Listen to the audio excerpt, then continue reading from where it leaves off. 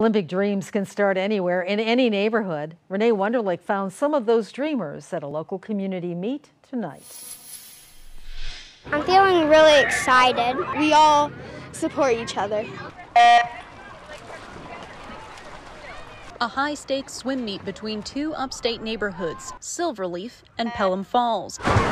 A bunch of people line up and we do races against other teams, and the person touches the wall first wins. It's a far cry from Olympic trials, but future champions all start somewhere. About each practice this week, I have been mentioning some of the stuff that they've been doing at the Olympic trials and encouraging kids to watch, and I'm sure that sparks a lot of interest and maybe even thinking like maybe I should take the next step into the swimming competitive world. But for others, the return of neighborhood swim meets after a year of virtual events is just fun. So they're seeing friends from school, they're making new friends.